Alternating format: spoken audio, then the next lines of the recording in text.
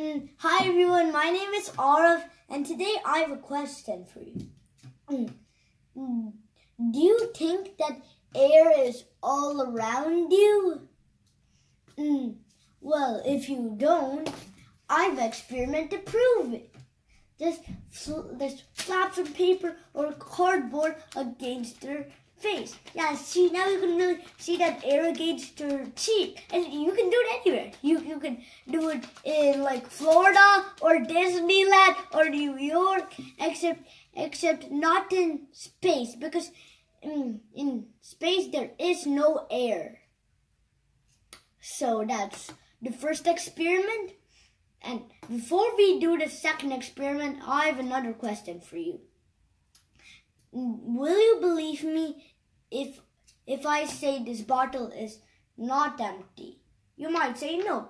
This bottle is empty. See, you put upside down, you on your sides, and nothing came out of it. But but I've an experiment to prove that it's not. See this?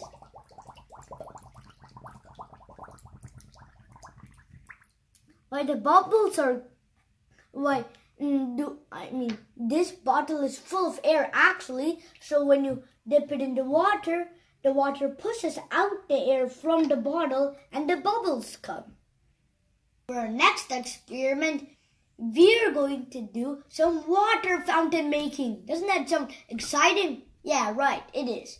But all you need for this water fountain is a plastic bottle, a blade, and some water. First, fill the plastic bottle with water until the top. So see, now the water bottle, I mean now the bottle is full. So now you have to put the cap on the bottle.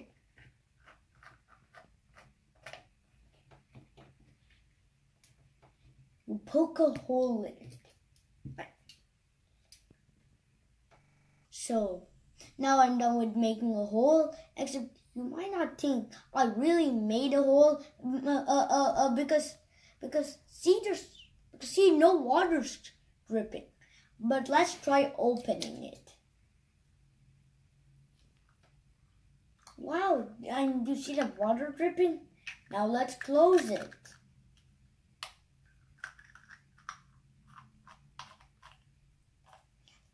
And let's open it again and see what happens. Well, and you see this like water flowing? Okay, so now let's try closing. See, now the water stopped. You might think, why is that? Well, the reason behind it is when when the bottle is open, air pushes the water, so so the water comes out the hole. But when you close it, the air is not able to push the water. So again, the air is all around the earth, but not in space. So, bye everyone!